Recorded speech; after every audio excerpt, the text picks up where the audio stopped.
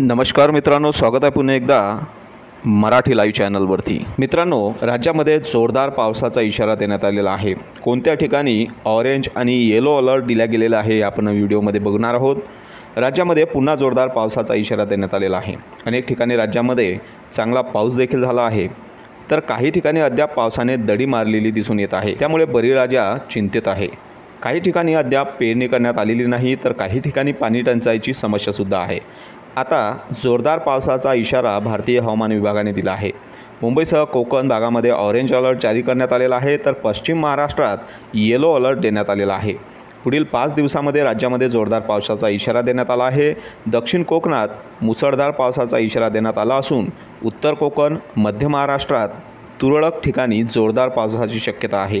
तर उर्वरित राज्यात विजांसह पावसाचा अंदाज हवामान विभागाने वर्तवलेला आहे. जोरदार पावसाचा इशारा कुठे आहे बघा. कोकणातील रत्नागिरी सिंधुदुर्ग जिल्ह्यामध्ये जोरदार पावसाचा इशारा देण्यात आलेला आहे.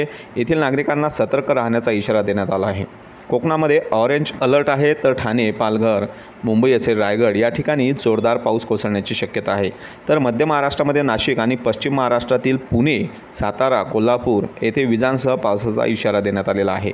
या ठिकाणी येलो अलर्ट जारी करण्यात आलेला आहे. तर मध्य महाराष्ट्रातील नंदुरबार धुळे जळगाव नगर येथेही चांगला पाऊस होण्याची शक्यता आहे असा अंदाज आहे. मराठवाड्यातील औरंगाबाद जालना बीड उस्मानाबाद लातूर परभणी नांदेड हिंगोली येथे पाऊस होईल.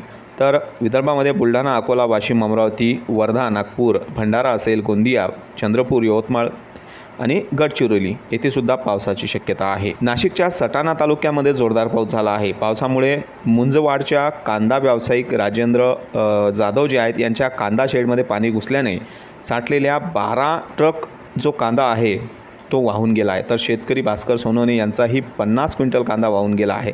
पावसानं याचं अतोनात नुकसान झालेलं आहे. त्यामुळे शासनानं तातडीनं दखल घेऊन आर्थिक मदत करावी अशी मागणी होत आहे.